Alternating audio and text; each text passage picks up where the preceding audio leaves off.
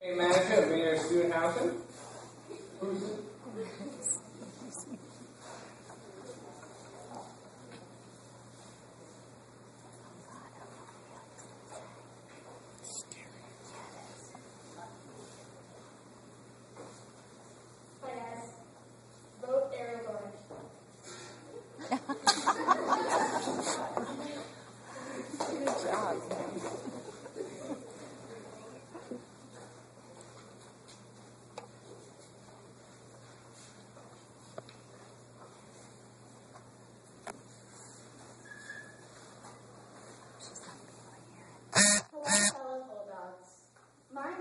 is Ariel Dornisch, and I'm running for re-election as president of your student council.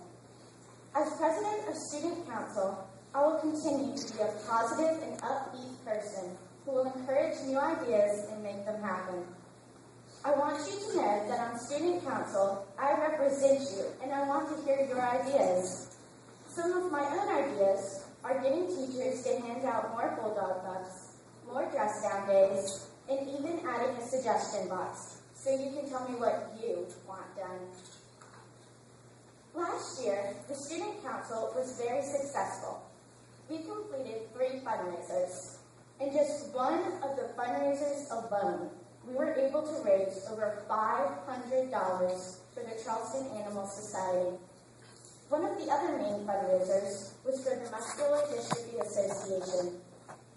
The great thing about these types of fundraisers is that they're fun for everyone and it's for a great cause. If I am elected, I would do these fundraisers and more.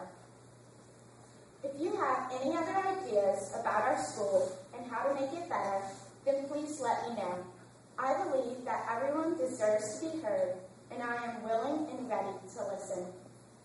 We are in this crazy, turbulent thing called middle school together, and I want to make the best of these years for all of us.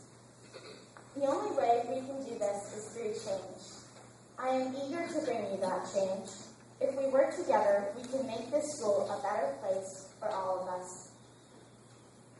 As John Quincy Adams, the sixth President of the United States, said, if your actions inspire others to dream more, learn more, do more, and become more, are a leader.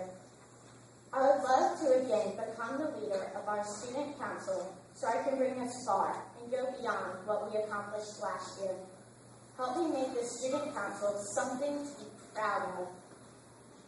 Have a great day and thank you for your time. Before I go, I would like to thank my family for being so supportive and my campaign manager, Amelia S. Also, don't forget, for success, choose the best.